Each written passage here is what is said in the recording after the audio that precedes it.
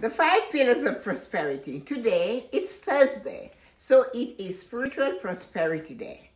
Your spiritual prosperity tip for today is be kind to yourself, love yourself, accept yourself just the way you are.